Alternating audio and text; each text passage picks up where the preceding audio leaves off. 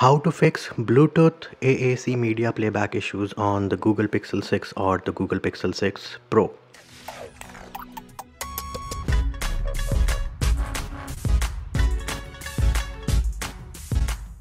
Hey peeps, what's up Munchy here, back with another video and in this video I'm going to show you how you can fix the media playback issues with respect to Bluetooth and AAC on your Pixel 6 or the Pixel 6 Pro. So all you need to do is you will go into settings, herein you will go into about phone. Now once you're in about phone you need to scroll down all the way and tap on this build number 7 times. It is going to ask you to enter your pin now once you've entered your pin, press the enter key on the keyboard. Once that is done, we can go back and then we will go into system. Herein you will notice that developer options has been enabled. So go into developer options and herein you need to look for a setting which is going to disable A2DP. So here it is. This is the option which we are looking for and this is in the networking section. So in the networking section you have a toggle called disable Bluetooth A2DP hardware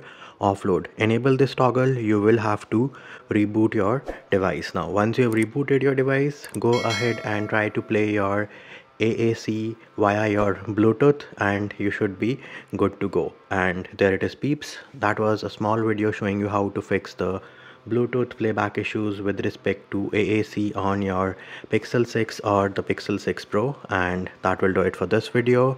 Hope my video helped you. Likes, shares and subscribes are appreciated. Feedback and comment more than welcome. See you when I see you.